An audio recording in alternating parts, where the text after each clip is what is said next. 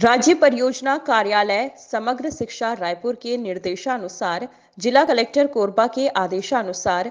जिला शिक्षा अधिकारी सतीश पांडे के मार्गदर्शन में समावेशी शिक्षा योजना अंतर्गत कोरबा ज़िले में विकास खंड स्तरीय एक दिवसीय कक्षा एक से कक्षा बारह तक अध्ययनरत दिव्यांग शारीरिक विकृति वाले बच्चों को शल्य चिकित्सा से लाभान्वित करने हेतु जिला मेडिकल बोर्ड कोरबा एवं समाज कल्याण विभाग कोरबा के संयुक्त तत्वाधान में स्थानीय स्तर पर अधिक से अधिक दिव्यांगों को लाभान्वित करने आकलन, मूल्यांकन शिविर का आयोजन किया गया। शिविर में आए हुए अभिभावक बच्चों के लिए आवास, भोजन आने जाने के लिए वाहन यात्रा व्यय की समुचित व्यवस्था के साथ दिव्यांगा अनुसार आवश्यक सामग्री जैसे ट्राईसाइकिल वैशाखी व्हीलचेयर रोलेटर कृत्रिम कैलिए पर लोविजन किट श्रवण यंत्र, दिव्यांग बच्चों हेतु उपलब्ध कराए जाने बाबत विकास खंड स्तर पर आयोजित कार्यक्रम के अंतर्गत बीआरसी कोरबा शहरी कार्यालय में वैश्विक महामारी कोविड 19 प्रोटोकॉल नियम अंतर्गत कार्यक्रम संपन्न हुआ।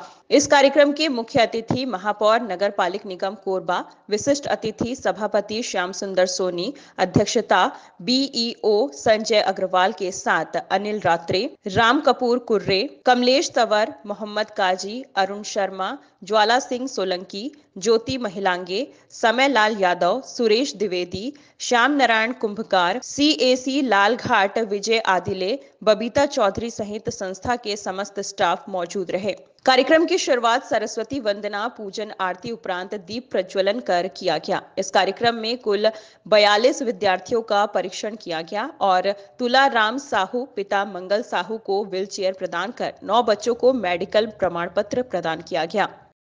मैं ऑडियोलॉजिस्ट हूँ जिला अस्पताल में मैं पदस्थ हूँ दो हज़ार सत्रह से मैं वहाँ कार्यरत हूँ। और वहाँ ऐसे बच्चों को हम लोग जाँच करते हैं जिनको सुनने में तकलीफ़ होती है जिनको बोलने में तकलीफ़ होती है। जाँच करने के बाद में उनका उपचार भी वहाँ सब किया जाए बालिका को बचपन से नहीं सुनाई देता है। मतलब इसको जब से ये पैदा हुई थी तब से परेशानी है। इसको कान के अंदर का जो भाग रहता है उसमें बहुत ज़्यादा सुनने में दिक्कत है नब्बे परसेंट इसको सुनाई में दिक्कत इसी वजह से ये बच्ची बोल भी नहीं पाई है अभी बच्ची बड़ी हो गई है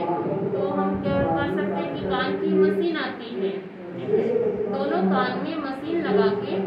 सुनाई के लिए जो आवाज़ें होती है, उसके लिए हम लोग इसको ट्रेनिंग दे सकते हैं और कुछ जो शब्द है, उसको धीरे धीरे करके बोलना भी सिखा सकते हैं।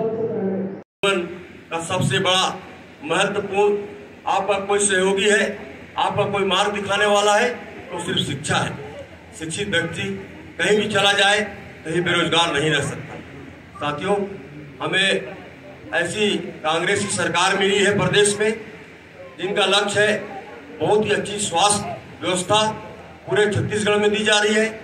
और है या किसी कारणवश शारीरिक रूप से कमज़ोर है या मानसिक रूप से कमज़ोर है, उनका सहयोग हमारे माननीय महापौर जी, हमारे द्वारा, निगम के द्वारा, कभी भी ज़रूरत हो हम लोग पूरा तैयार हैं।